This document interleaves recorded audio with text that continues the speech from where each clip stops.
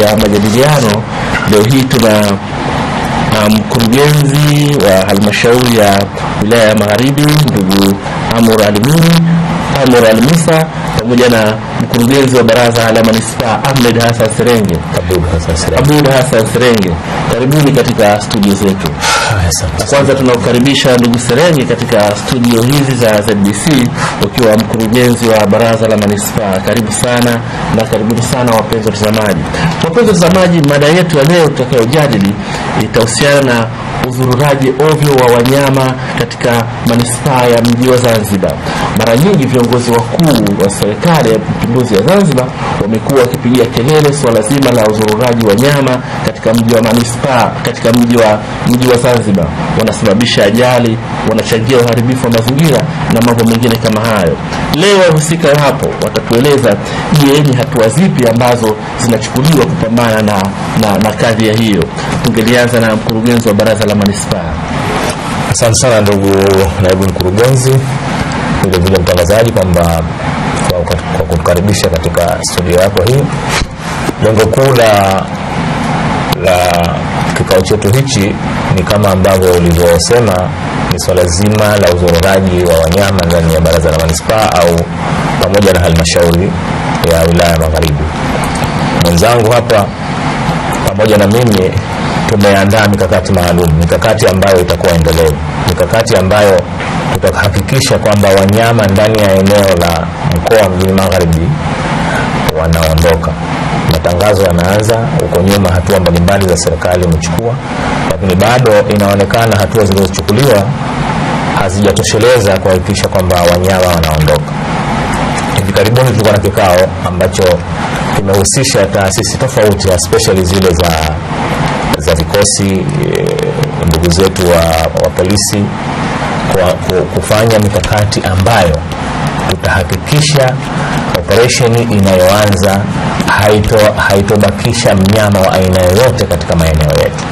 Utaratibu upo, serikali imeshatoa tangazo kwamba wanyama wote katika mkoa wetu wasifugwe, na kama wanafugwa basi wafugwe kwa utaratibu maalum ambao unakubalika. Serikali haijazuia ufugaji, lakini serikali inazuia utaratibu gani unaotakiwa utumike wa ufugaji, hasa katika maeneo ya mjini. Ufugaji ambao unaokubalika ni ule e, kitaalamu tunaita zero grazing. Mtu anakuwa na eneo lake, eneo ambalo linakubalika, kwa sababu hiyo zero grazing yenyewe isiwe ni athari kwa majirani. Zero grazing ambayo hii itasaidia wewe unafuga ndani kwa ndani unatafuta malisho unaleta pale, lakini na vile vile usafi ambao unaokubalika kwa mujibu wa mazingira yetu. Sasa wale ambao wataotumia utaratibu huu, basi serikali inakubaliana. Ndio maana tuna wizara maalum inashughulikia masuala ya mifugo kuhakikisha tuna encourage mifugo ndani ya nchi yetu.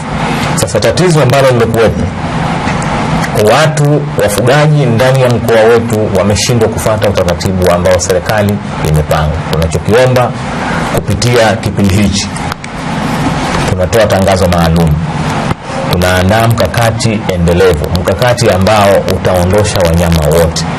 Wanyama hawa kwa mujibu wa taratibu na, na kanuni zetu za sasa hivi, tukisha wakamata tunawapeleka Hanyagwa mchana na wahusika watakaokuja tunawapiga fai tunawapeleka mahakamani, na baada ya uthibitisho kuna faini ya shilingi laki tatu kwa ng'ombe na mbuzi shilingi laki moja na nusu. Lakini utaratibu wa pili ambao tunakusudia kuufanya ni kuhakikisha kwamba mnyama atakayekamatwa tutaweka alama maalum, alama ambazo zitaonyesha atakapokamatwa mara ya pili, huyu mnyama safari hii itakuwa ni muflis. Sasa tunataka tusifike huko, sababu nia ya serikali kuendeleza mifugo, nia ya serikali kuendeleza biashara mbalimbali, ili wananchi wetu wapate vipato kwa kuwasaidia katika maisha yao, lakini lazima kanuni, sheria ambazo zipo tu, tuzifate ili tuhakikishe mazingira ndani ya mji wetu, mazingira ndani ya halmashauri zetu ziko katika, katika hali inayofaa. Ya, katika eneo ambalo limeathirika zaidi na suala la wanyama ni, uh, ni katika wilaya ya Magharibi. Mara nyingi kumekuwa na, na mizozo kama hiyo, wanyama wanakamatwa, wanarejeshwa. Leo wamekamatwa katika msikiti fulani, wame, wamewekwa lakini baadaye wame, wameachiliwa. Taratibu zinakuwa ziko nyepesi nyepesi. Sasa Amor, katika wilaya yako ukiwa mkurugenzi wa halmashauri, kwa nini kunatokea swala kama hili? Um, Asante ndugu mtangazaji, ni kweli hii utaratibu wa kukamata wanyama upo mara kwa mara na sheria zetu zipo, lakini niseme tu ndugu mtangazaji kwamba Wazanzibari tunakabiliwa sana na adui muhali. Tunakuwa na muhali mkubwa sana wa, wa, wa mambo yetu mengi ya sheria, na utakuta kwa nini kuna muhali? Kwa sababu kujuana ni kwingi sana unaweza ukawakamata mnyama ukawakamata wanyama, vijana wangu wakakamata wanyama, lakini chini ya pazia kukaja request nyingi sana za huyu anamjua nani, huyu anaomba nini, huyu anaomba nini. Sasa kwa kushirikiana na mwenzangu ni kwamba taasisi moja kama halmashauri peke yetu hatuwezi kumudu ku- ku- kufanya yote hayo na, na maana sasa kuna, kuna ushirikiano ambao hata kama ng'ombe yuko magharibi ni tutashirikiana na kikosi kazi na, na, na mkurugenzi manispaa kuona kwamba tunafanya kazi pamoja kuondosha ule ule muhali. Ni kweli ng'ombe wengi ah, ng'ombe kuna ng'ombe wa aina mbili ambao kuna ng'ombe wale ambao wanavuta wana, wana, wana magari wanavuta magari na kuna ng'ombe ambao wanaachiwa. Sasa cha kuchangaza mtangazaji ni kwamba inapofika wakati wa jioni, basi wa, wa, wananchi wale wafugaji wenye ng'ombe huachia ng'ombe zao na kuzurura barabarani bila kujua ng'ombe wale ng'ombe wale wako wapi na wanafanya nini. Na unapokuja kwa upande wa magari, ng'ombe wenye magari wao kazi yao kubwa ni, ni kuchimba mchanga ambalo hili tutakuja kuzungumza katika vipindi vijayo, lakini nayo ni moja kati ya changamoto kubwa ya halmashauri ya wilaya ya Magharibi, uchimbaji wa mchanga. Kwa hivyo kwanza tutaanza na utaratibu kama alivyozungumza mwenzangu mkurugenzi manispaa kwamba tutakuwa na kikosi kazi kuona kwamba hawa ng'ombe sasa tuna tunawadhibiti katika hali ya umoja na hali ambayo tumeweka mkakati ambayo sasa tuta identify kuona kwamba huyu ng'ombe mara ngapi, kwa sababu inaonekana kama kwamba baadhi ya wafugaji wana pesa sana, wengi matajiri sana. Kwa hivyo hii faini ya laki tatu mi naona kama vile haiwatoshi, kwa sababu leo anakamatwa leo anatoza shilingi laki tatu, lakini haichukui muda mrefu tena anakamatwa tena anatoa laki tatu nyingine.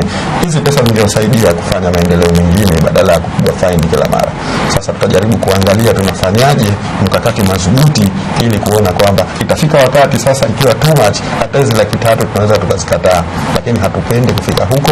Tunataka wananchi waelewe, ili sote tufuate utaratibu na kanuni zilizokuwepo.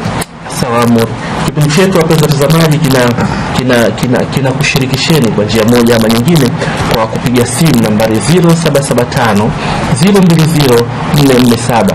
Muda mchache tu tutawasha simu ili tupate mchango wenu pamoja na kuwauliza wahusika waliofika hapa, lakini tu- turudi kwako mkurugenzi wa manispaa kwamba changamoto kubwa ambayo imewakumba wakurugenzi kadhaa wa baraza la manispaa ni, ni, ni wanyama kama tulivyoeleza mwanzo wanyama.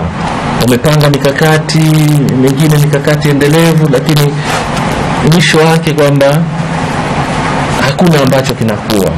Na imefikia pabaya zaidi kwamba mpaka kiongozi wa nchi na yeye anakosa ajali ana, anakosekana kidogo apate ajali kutokana na ongezeko kasi la, la wanyama. Sasa hebu tuthibitishie kwamba yale yaliyopita hayatatokea kwako wewe katika kuhakikisha suala hili Asante sana ndugu mtangazaji. Ndio maana nikasema tumepanga mikakati, mikakati endelevu.